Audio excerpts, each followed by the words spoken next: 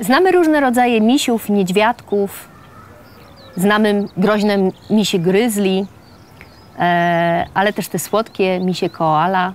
A tak w rzeczywistości najmilszego niedźwiedzia, jakiego w życiu poznałam, e, to właśnie poznałam Marka, Marka Niedźwieckiego.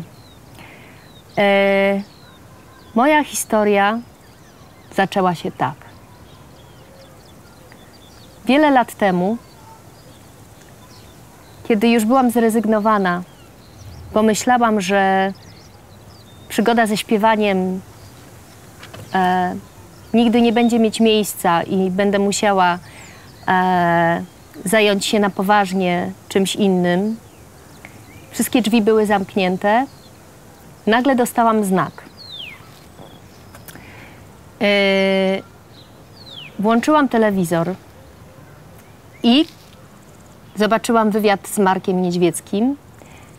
Zaznaczam, że było to wiele lat temu i jeszcze nie znałam Marka.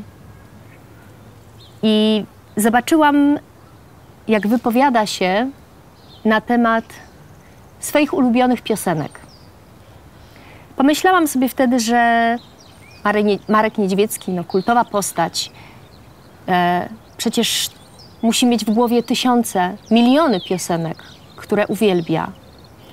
Ale on nagle powiedział, że jedną z ulubionych jego piosenek i takich, które, z którymi wiąże go duży sentyment, to jest właśnie piosenka mojej mamy Za daleko mieszkasz miły i powiedział, że to była pierwsza piosenka, której uczył się grać na akordeonie. Gdy zobaczyłam to, pomyślałam sobie, to jest znak. Muszę coś zrobić. E, skoro Marek Niedźwiecki e, w ten sposób wypowiada się o piosence mojej mamy, a chciałam zaznaczyć, że e, tych parę lat temu moja mama była kompletnie zapomnianą wokalistką, to pomyślałam sobie, że to dało mi olbrzymią motywację do tego, żeby coś z tym tematem zrobić.